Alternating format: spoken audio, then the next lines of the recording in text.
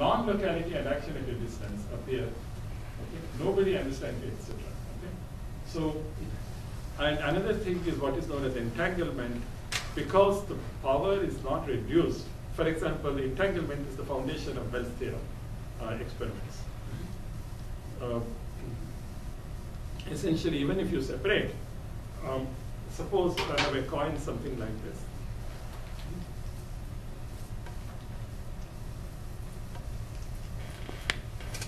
Uh, this coin, I slice it and give one to him and give one to him. He doesn't know which is head and which is tail. But the relationship of head and tail remains regardless of how far those two apart. Okay? Same thing happens at the uh, you know um, atomic level. That is what is entanglement. And then not only that, you have a mathematical description in terms of the wave equation. You see what has happened to the wave equation. It has nothing to do with waves. It becomes a measure of uh, various other things like entanglement, probability, and all that. So, next one please. Fundamental problem, no description. The equations of quantum mechanics theory would be just pure mathematics that would have no physical meaning at all. Uh, I, will, I will show that.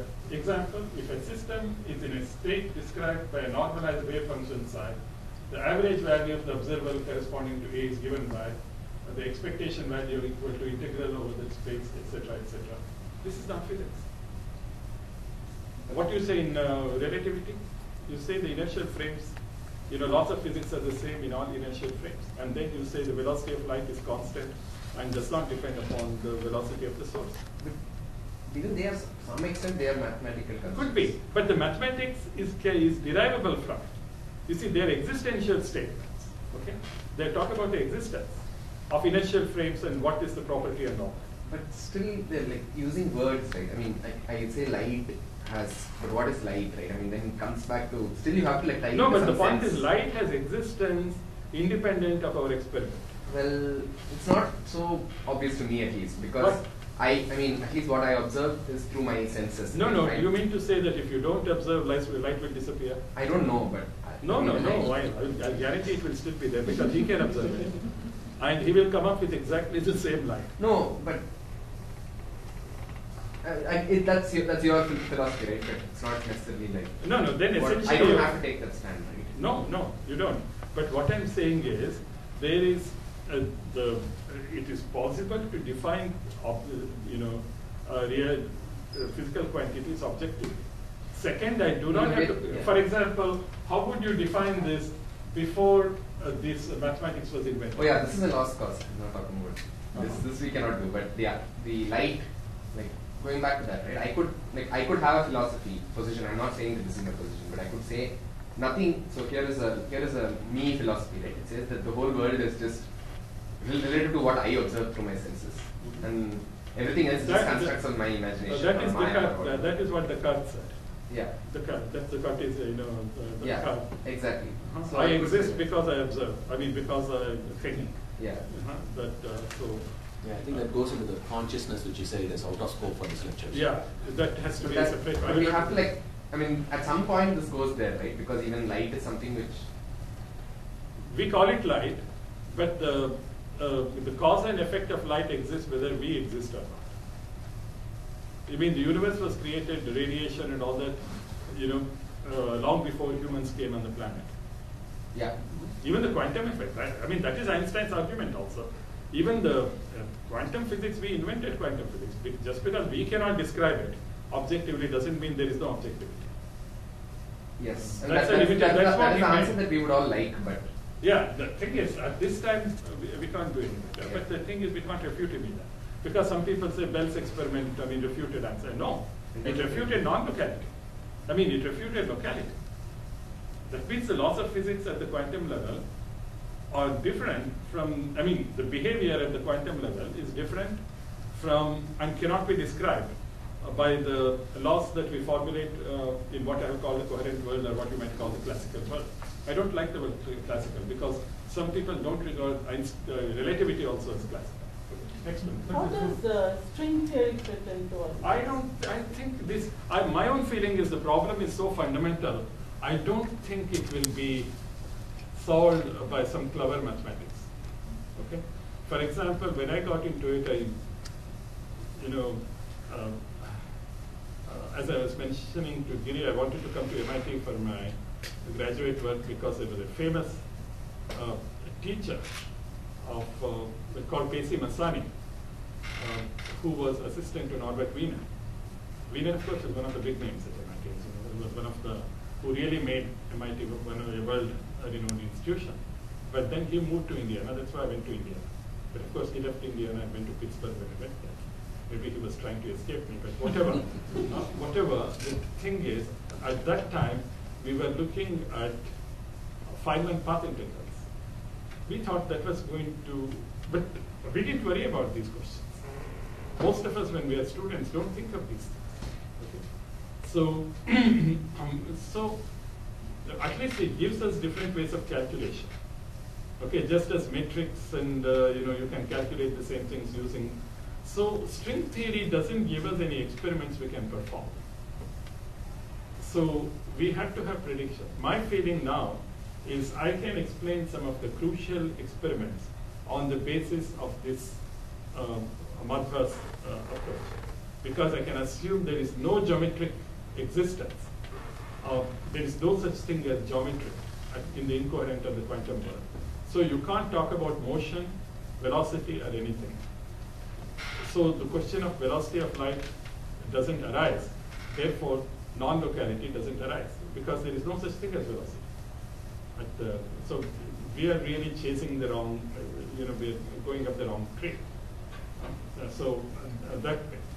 But the thing is, we should also be able to make some prediction that can be experimentally verified, uh, which cannot be done the way things are now. Okay, next one, please. Okay. So quantum postulates of relativity are simple and metaphysical. Okay, we, we already that. Contain no physics, but only mathematical formulations for computation. Have a strongly geometric flavor, Hilbert space, eigenvalues, etc. All these are geometric. But uh, uh, these probably are not the correct way of describing it. We perceive the world through geometry. For us, it's the most fundamental. Space is the most fundamental concept.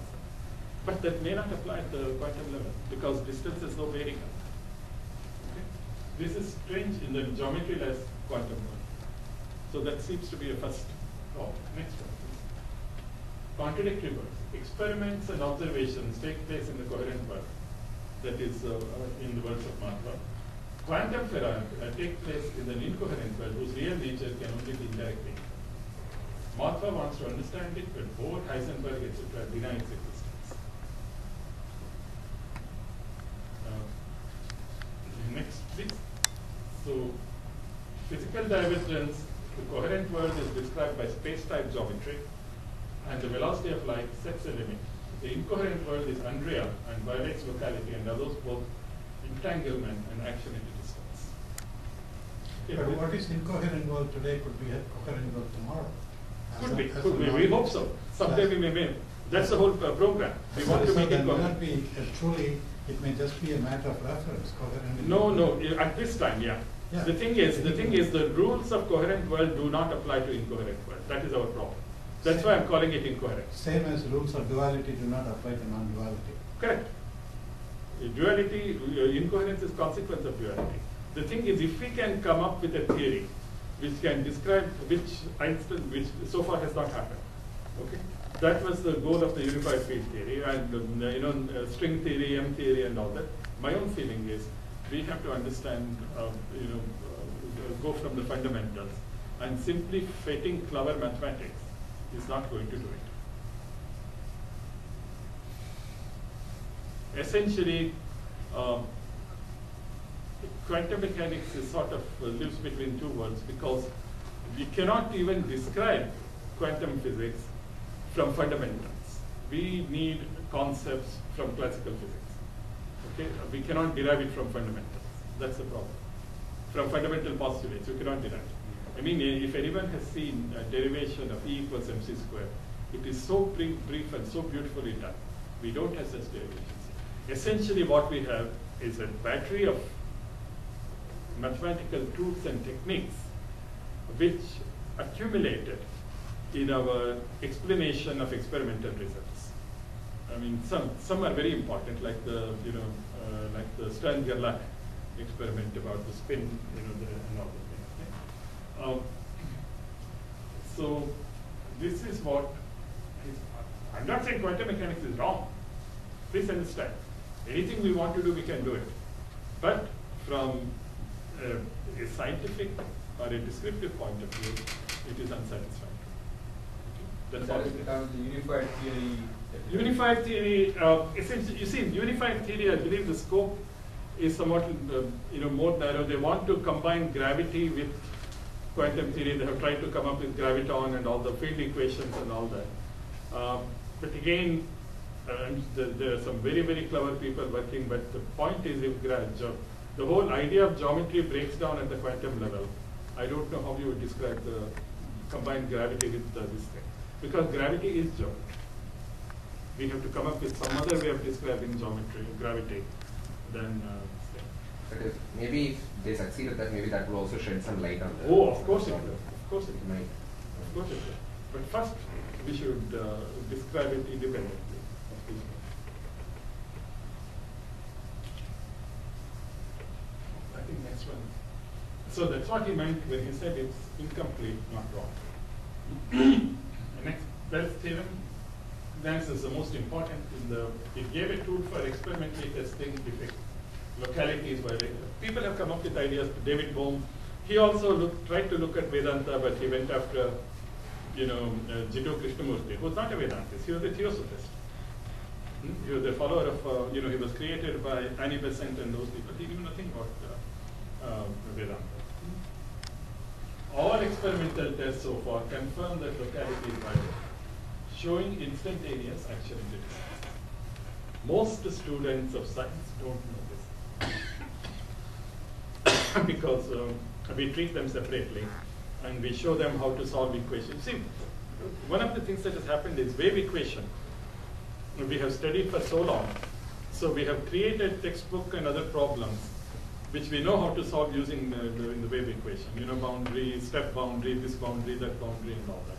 But physically, the fundamental problem remains. Okay, next, please. So resolving. Okay, uh, one way of resolving Bell's theorem paradox is to say no geometry, no distance, no motion, hence there is no violation. You see, that's what happened with the Michelson-Morley experiment. People all, gave all sorts of explanations. Finally, Einstein, in relativity, uh, uh, said, look, we don't need the ether. It, was- it was supposed to measure velocity of light through ether. Ether. And then after that, they said the velocity of light is the same in all directions, independent of the source. Therefore, uh, the resultant is always zero. So that was different from what people thought. It took 20, more than uh, 25 years to come to that conclusion. Based on this, and new ones to test it. That is important. We need new results. Next one, please. Three possibilities. No reality beyond the observer and the experiment. This is debatable. I just thought, okay, that's the classical. There is objective reality, but quantum theory is incomplete. That's Einstein. Dual world, but the relationship is unknowable. That is Shankara's position at this time. Hmm. Understand the relationship between coherent and incoherent world. That is Madhva's position. But essentially, the, all of them are asking the same question. That is what I.